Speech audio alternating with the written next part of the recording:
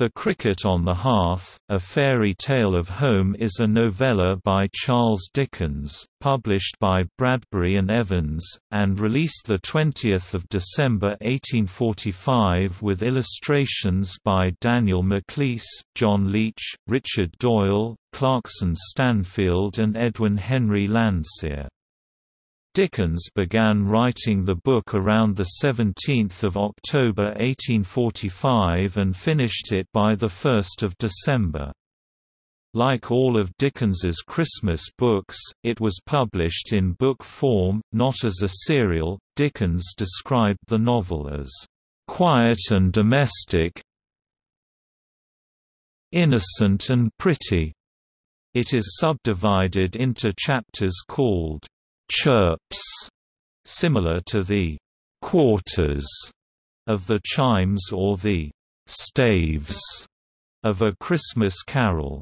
It is the third of Dickens's five Christmas books, preceded by A Christmas Carol (1843) and The Chimes (1844), and followed by The Battle of Life (1846) and The Haunted Man and the Ghost's Bargain (1848).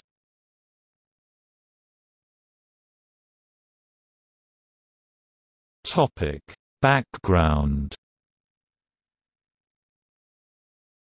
In July 1845, Dickens contemplated forming a periodical focusing on the concerns of the home. It was to be called The Cricket, but the plan fell through, and he transformed his idea into a Christmas book in which he abandoned social criticism, current events, and topical themes in favor of simple fantasy and a domestic setting for his hero's redemption.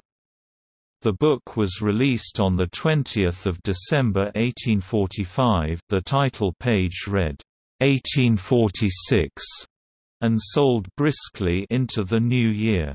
Seventeen stage productions opened during the Christmas season 1845 with one production receiving Dickens's approval and opening on the same day as the book's release. Dickens read the tale four times in public performance. It has been dramatized in numerous languages and for years was more popular on stage than A Christmas Carol. Cricket is less explicitly Christian than some of Dickens's other Christmas books, and it has been criticized for its sentimentality, but contemporary readers were attracted to its depiction of the Victorian ideal of the happy home.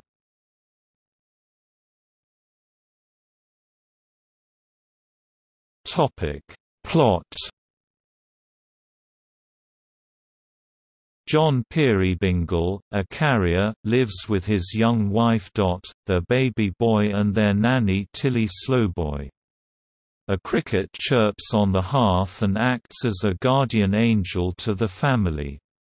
One day a mysterious elderly stranger comes to visit and takes up lodging at Peerybingle's house for a few days. The life of the Peerybingles intersects with that of Caleb Plummer, a poor toymaker employed by the miser Mr. Tackleton. Caleb has a blind daughter Bertha, and a son Edward, who traveled to South America and is thought to be dead. The miser Tackleton is now on the eve of marrying Edward's sweetheart, May, but she does not love Tackleton. Tackleton tells John Peerybingle that his wife Dot has cheated on him, and shows him a clandestine scene in which Dot embraces the mysterious lodger. The latter, who is in disguise, is actually a much younger man than he seems. John is cut to the heart over this as he loves his wife dearly, but decides after some deliberations to relieve his wife of their marriage contract. In the end, the mysterious lodger is revealed to be none other than Edward who has returned home in disguise. Dot shows that she has indeed been faithful to John. Edward marries May hours before she is scheduled to marry Tackleton. However, Tackleton's heart is melted by the festive cheer in a manner reminiscent of Ebenezer Scrooge, and he surrenders May to her true love.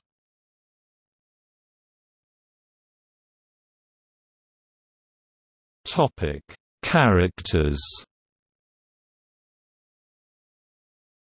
John Peerybingle, a carrier, a lumbering, slow, honest man Mrs. Mary Peerybingle. Dot.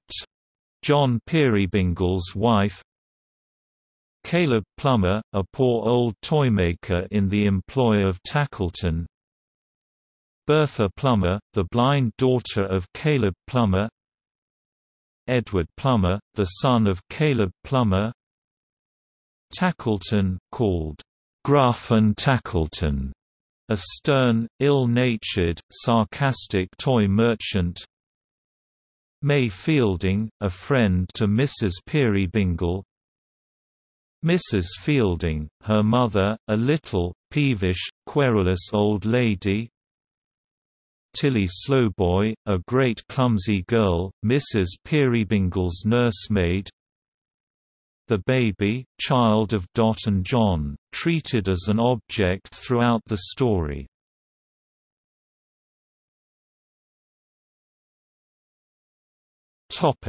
Literary significance and criticism The book was a huge commercial success, quickly going through two editions. Reviews were favorable, but not all so.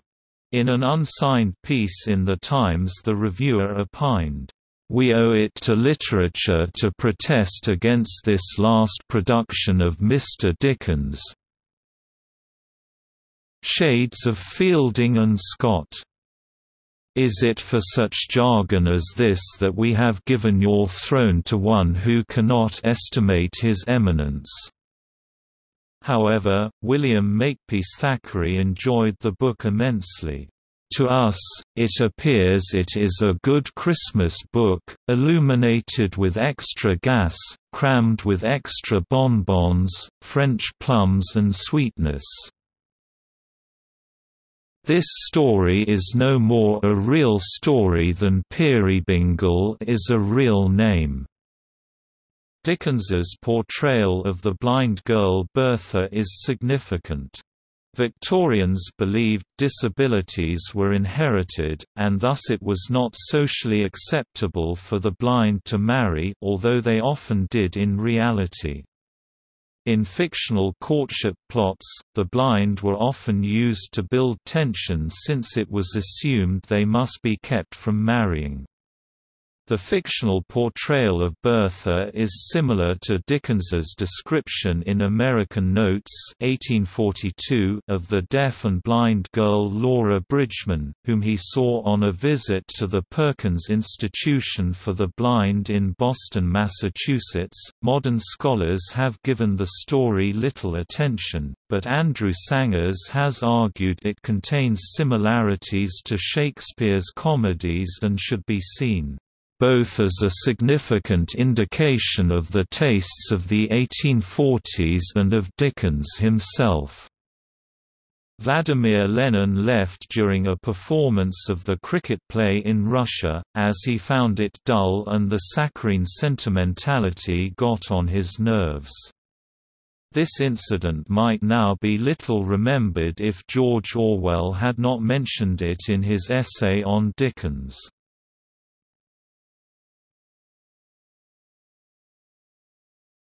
Topic: Adaptations.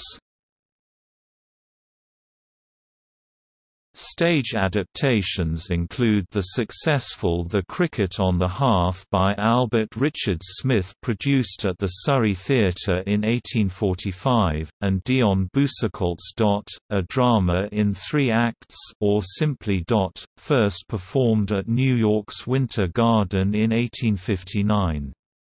It was staged repeatedly in Britain and America for the remainder of the 19th century, starring, at times, John Toole, Henry Irving, and Jean Davenport.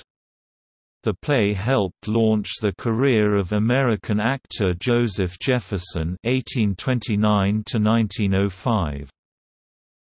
The novella was the basis for at least two operas, Karl Goldmark's Das Heimchen am Herd with a libretto by A. M. Wilner premiere, June 1896, Berlin, New York 1910, and Riccardo Zandonai's Il Grillo del Focolare with a libretto by Cesare Hanau premiere, November 1908, Turin.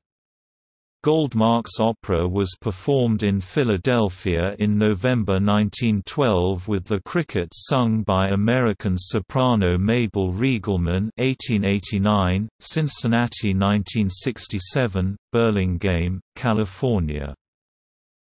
Film, radio, and television adaptations include three American silent film versions, one, directed by D. W. Griffith 1909, starring Owen Moore, another directed by L. Marston 1914, starring Alan Hale, and one directed by Lorimer Johnston 1923.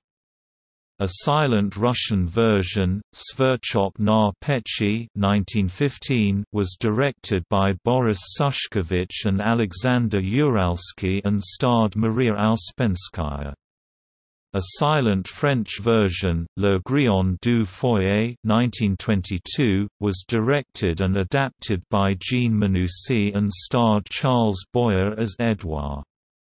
A 25-minute NBC radio play adaptation aired on 24 December 1945. In 1967, Rankin Bass Productions produced a 50-minute animated television adaptation of the story, featuring the voices of Roddy McDowell as the cricket, and father and daughter Danny Thomas and Marlo Thomas as Caleb and Bertha, with various other characters voiced voiced by Paul Frees and Hans Conried. This adaptation cuts several characters, including the central pair of John and Dot, focusing solely on Caleb and Bertha. Television Corporation of Japan now Eiken provided the animation, while seven original songs were written and composed by Maury Laws and Jules Bass. Like The Daydreamer 1966, The Enchanted World of Danny Kaye 1972, and Marco 1973, which were all responsible for the use of stop-motion Animagic segments. This special was also a Rankin Bass production that combines live action and animation.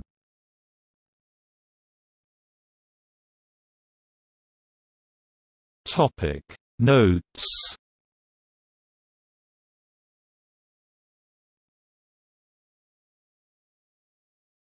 Topic. External links. Online editions. The Cricket on the Hearth at Internet Archive. The Cricket on the Hearth at Project Gutenberg the Cricket on the Hearth at Dickens Literature. The Cricket on the Hearth at the University of Adelaide Library. The Cricket on the Hearth public domain audiobook at LibriVox Adaptations. Dot, a drama in three acts by Dion Boucicault 1859 Picture gallery from Victorian Web